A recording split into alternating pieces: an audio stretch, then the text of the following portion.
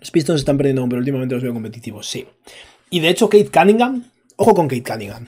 Yo creo que si algo ha salido bien en medio de todo este mm, drama, ¿no? De racha de victorias de los Detroit Pistons, que por fin han conseguido romper, ¿no? Pero si algo ha salido bien en medio de todo esto, es que Kate Cunningham para mí ha demostrado, ha demostrado ser una estrella. O sea, el carácter, el nivel de intensidad, el rendimiento, mm, momentos potentes a nivel defensivo, no estaba jugando también en, el comienzo de la racha, pero Kate Cunningham acabó un nivel muy, muy, muy, muy alto. Y en esta temporada está jugando bien. Y no sé si, es un número uno de un equipo de campeonato, pero yo he salido de esta racha de 28 derrotas más cómodo con Kate Cunningham de lo que estaba antes. Y es lo más positivo, o lo único positivo de esta racha. Eh, Kate es bueno. Es bueno, de verdad. Y tiene, tiene ganas, tiene carácter, tiene liderazgo. Es un buen jugador.